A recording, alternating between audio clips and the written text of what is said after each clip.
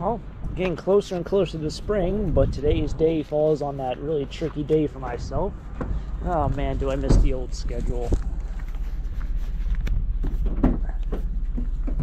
But what are you gonna do, right?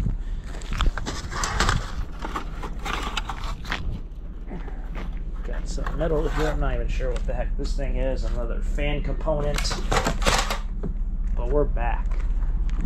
Back in action. I guess I really didn't take a break. I mean, you know, it's, it's I say we're back in action like like I left you guys for a week or two. Nope, not the case. We're keeping the streak alive. Let's find some treasure out here. Early afternoon trash picking probably will be combined with tomorrow's morning, and we'll see what else kind of things we can find on our endeavors. Trash picking and fun things with taco stacks. Let's do it. Side note for any of you, I guess, Pennsylvania folks, maybe even New, yeah, New Jersey also. Well, this one, Rita's, is opening this Saturday, right? February 24th, I believe, is this Saturday. Rita's is open. Spring and summer not far away. I'm surprised they always open up so early, and I'm just like, who's gonna get an icy in February? But it's, I guess, Rita's Day. It's opening up. All right, might even be the last stop of the morning. Uh, like I said, I I'll probably be back out tomorrow morning, or should I say, last stop this afternoon. I'll be back out tomorrow morning. This thing's a little bit dirty, but I think it might just be dirty on the front. It smells like someone's burning something. I picked up some really nice prints there last year at that same spot. I also picked up some sort of basketball poster. Like someone put like, nope, I don't know what that mode is. Whatever M1 is, I don't know what that is, but we were in that for half a second. But I picked up some sort of basketball poster. These are the people who threw away brass and copper last week, which I got about $15 worth. That was nice. Back to my story. Um, and that was like the first thing that someone bought out of my van last summer. I opened up the door and somebody, like three people, asked me about it, and all it was was a basketball poster, or a poster with a basketball in the middle, and had like 50 or 100 pennants, like small pennants, from like the late 2000s. It wasn't even like vintage, but somebody just wanted a whole collage of pennants. You know, like the college pennants, but these were sports related. New too, not old. It's the following day. It looks like the sun's just peeking up over the horizon. We still have a lot of snow over here. It's like a never ending process with the snow, but it is winter and the sun is coming up. So it's another day. The pond's frozen. Salsa's excited. And uh, hopefully it's going to get a little bit lighter out. This person has a lot of garbage bags out. I seen one household that oh this person has a ton also. Oh. I think I need to uh, dig that bad boy out. It's probably actually better that I do that because then uh well that's probably less garbage that the garbage companies can decide if they want to take. Surprisingly, they didn't put I don't know why they didn't put that at the road though. Like it's behind cushions. Like you would think if somebody comes along who does scrap metal, they would take it. Right? Why would you put that as far? I don't get people sometimes. I feel like if you have something really heavy, you should probably put it as closest to the road as possible. That way you make the garbage men do the least amount of work. This one is behind some things and buried a little. But I'll get it out. That ain't an issue. Sometimes I feel like I'm very smart, and other times I'm just like, meh.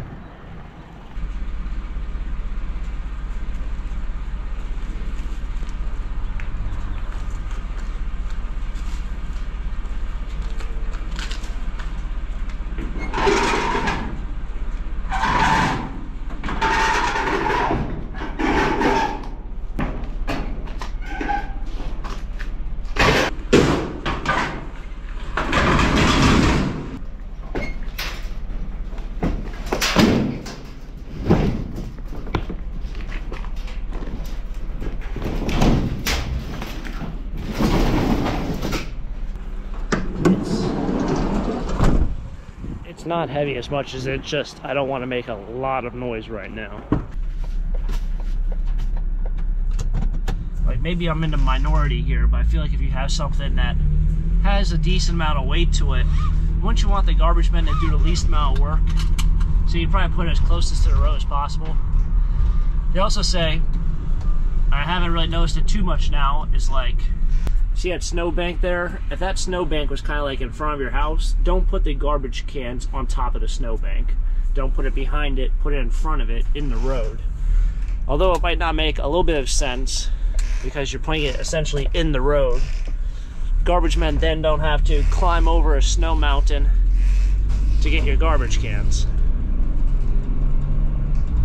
Just random things.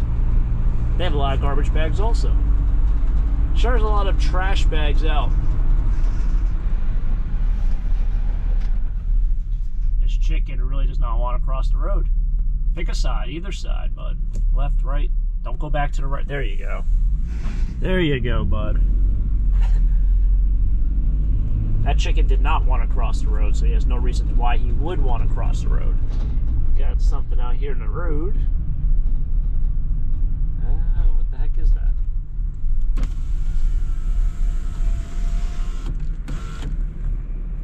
I don't know what it is. What heck is it? Can't tell. Throw on those, grab these gloves. Looks almost like that thing that they rolled out in class. The laptops in it.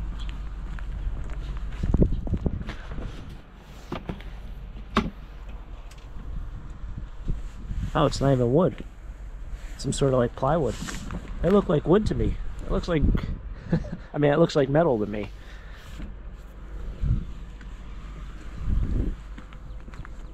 Got this guy. It's broken Broken to add on to, uh, huh. I wonder if they'll take that little mattress too. I threw out a mattress this week. I don't know if they took it because my garbage company hasn't showed up yet. But um that's there we go. But I wrapped my mattress yesterday in the cold and the wind. I got the old plastic sheet out, wrapped it up, and then put it out. So hopefully they'll take it. I don't see why they wouldn't. Um, if I made it to the scrap yard, I actually went to the post office just naturally drove into the post office parking lot and realized it's President's Day. They're not open. So I didn't even have my packages with me, but then I realized I didn't have them because I knew it was President's Day, and then I drove in, I was like, oh, it is President's Day, but I don't even have my package. Long story short, it's one of those holidays. And it's also one of those days, I guess. So I'm dropping off metal here. Oh, that's a whole lake right there. I don't know how far back that lake goes, so I might not park on the water. Also, thought about it. Can't really, you don't really want to park on that ice because this is a rear wheel drive vehicle, and I'd probably just keep sliding and never be able to go forward ever again. Dropping off some metal.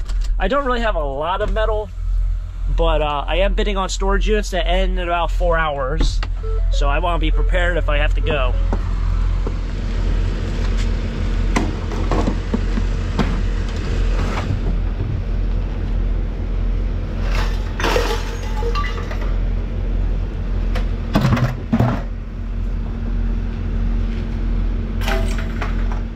On to our next endeavor. I have family coming into town, so I'm picking them up. Um, I'm looking at the storage I want to bid on. It's kind of got older stuff in it. That's old aluminum, that's old blankets, old pots and pans. The boxes are old. There's older cigarette boxes, like from the 90s. It's very, very dirty and very dusty, so it, it's probably been there a long time. It does look like it's kind of, I wouldn't say thrown around, but it's I wouldn't say it's weird because it's not I don't know. We'll see what happens, is what I'm saying. But I got a lot of things to do over the next 72 hours.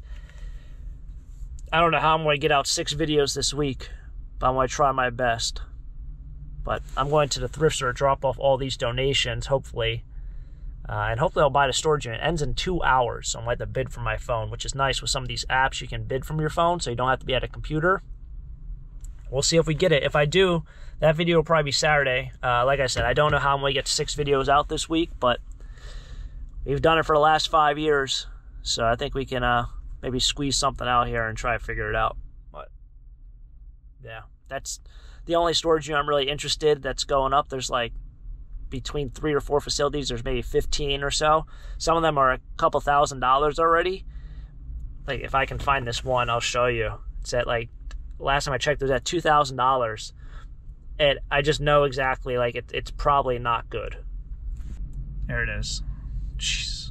It's over two thousand dollars, and this is what it is. It's like I wouldn't say hundreds of boxes, but they're all Amazon boxes and a bunch of pallets. So there's a lot of different possibilities of what it could be. I have my assumptions.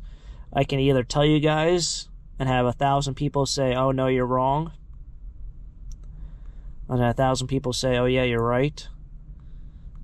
But I don't get offended like other people do. So my opinion here is that I think these are all one of one item from Amazon. So someone out there said, hey, look, I have a bunch of I don't know, so puzzles, and it's all the same puzzle, and they sent them to Amazon, and then they all got returned, whether they didn't sell or whatever it might be, because I have done enough of these auctions, and I was at a pallet auction where they had the same exact boxes, and there had to be about 30 or so, and they were all the same game. They were like a board game, and they looked exactly the same. So, Although it looks fun, there's a lot of boxes. I think they're all the same product.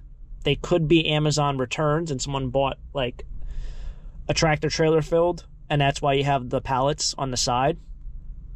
Um, because they, they could have arrived on pallets and they just kind of boxed them up and put them in the warehouse or in a storage unit. But I'm thinking they're all the same thing. So somebody's spending two grand on this. That's a huge gamble. And I tell you what, I don't want to gamble like that because uh, if I spent two grand and they're all the same board game or all the same product, and there's probably ten thousand of them, unless there's something that's worth ten or fifteen bucks each, it's going to be very difficult to sell the same exact item for a dollar each if it's something like a board game or a puzzle or whatever it is, and to make two grand back is not that easy. Uh, plus, you have buyer's premium, plus, you have sales tax, and for a unit like that, you're probably going to have to either have a box truck or rent a box truck. So you're going to probably be in there about three grand. And that is hoping that it's not something that is complete trash. But, you know, it could be gold, could be this, could be that. I'm not really a gambling person. I like the small storage units, the cheaper ones, the ones that I can get in there. Don't have to rent it for a month. Um, if I if I like gambling, I'd probably go to casino, do some slots, whatever it might be. But I'm just not a gambling person. I'm a business kind of person. So, a little different approach to it, but that's what's kind of going on. Okay, so I'm stopping off at Home Depot. I have to get something really quickly, but I wanted to look at these. I don't know if they're stump grinders or are they something else. They look like stump grinders. So when I rented a stump grinder from Home Depot, I got one of those. They did not have this available. They don't have a price on outside. It's the Barreto. Looks like it comes with a trailer, so you gotta take the trailer two inch something grind on each pass. Huh. It's got tracks on it. Yeah, they didn't have that available when I uh, when I rented one. They don't have a trailer hitch on anything. Yeah, so I rented one of these. Man, this thing. Dash. Let's just leave it at that that video did really well. It's one of my most viewed videos every 24 hours. It's like in the top 10. I think that video came out in 2020. Picks up like eh, about 200 views every day.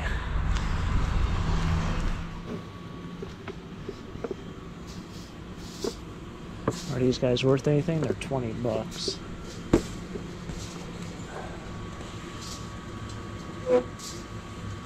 Don't know why, but I feel like I saw someone spend a lot of money on these at an auction or a yard sale. That I don't remember. Batman.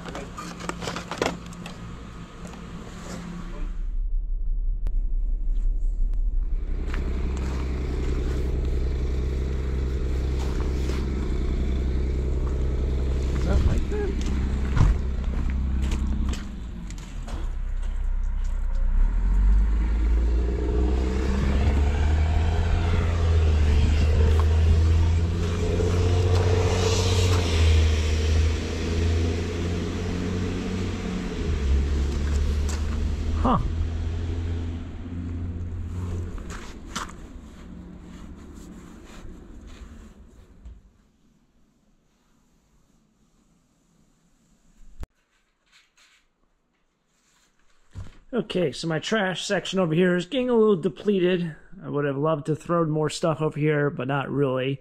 Um, this stuff has to get put out once per week, or next time I plan on going to the landfill, I just bring this over because realistically, it's not a whole lot of money that I'm going to, I guess, lose by bringing it to the landfill as opposed to just throwing out regular trash. But so yeah, that's going to wrap it up here for today's adventure. Uh, very funny seeing that that uh, the storage units with all the Amazon boxes sell for four thousand one hundred and fifty dollars. I don't know who won it. It's one of those auction sites that don't show the username of the buyer, which is kind of nice and kind of not nice uh, because I kind of a little bit nosy. You kind of want to know which person in the area kind of bought it, and not necessarily their actual full name, but just their usernames. And some of these sites do show your username. So once you match up a couple of them, you kind of memorize who's who. Um, but yeah, they spent four thousand one hundred fifty dollars. That's what sold for. Who knows? It could have been all Amazon returns. It could have been all of the same item. It could have been 10,000, 20,000 of the same pieces. Um, it could have been masks, hand sanitizer. It could have been anything. Um, or it could have been Amazon returns and literally just a tractor trailer filled or two tractor trailer filled of Amazon stuff. Or maybe it's not even Amazon stuff in general. It just literally it was boxes. It was weird that nothing was opened, so you can't even get an idea um, of what was in there. But that's that. Maybe someone had a little bit more information than I do, or maybe um, they didn't want people to know something is at the facility. I don't know. Uh, but yeah, a little over four thousand dollars plus buyer's premium plus sales tax probably brings you closer to five grand on a unit. Then obviously all the time you have invested and all that. So hopefully they'll make more than five thousand dollars in stuff. Um, but that is not for me to decide because I'm not there. I don't know anything about it, and that is that. Uh, funny enough, the storage unit I was bidding on kind of had anxiety all morning because I was like, man, I got a lot of stuff to do this week and I want to buy it. I bid it up to $170. It ended up selling for $170. I was the bid at 160. Just now I got an email saying the unit has been canceled. So although the auction already ended, sometimes when these units get paid up for, they actually email you after the unit sells. Um, so even though I wasn't the high bidder, it did say the unit that I was bidding on got canceled. Um, so hopefully the person who won it didn't drive all the way out there or live two hours or three hours away because if you're driving to the facility, someone pays up even an hour or two hours after the auction ends. If you're not there, the payment's already made. You lose out on the unit. It happens to me happened to me before, and that's why I kind of stay away from buying any unit farther than like 45 minutes or an hour away because that really stinks. Um, more likely or not, the person was either on the way to pick up the unit uh, from the auction or something else happened. But yeah, that unit got canceled, so I guess I really didn't lose out anyway. But uh, it's been fun. Thanks for tagging along. Hopefully, you guys enjoyed it. We'll see what happens this week. Should be a fun week. As always, if you guys enjoy, hit the like button, subscribe down below. Till next time, have a great day. Keep living a dream. Peace.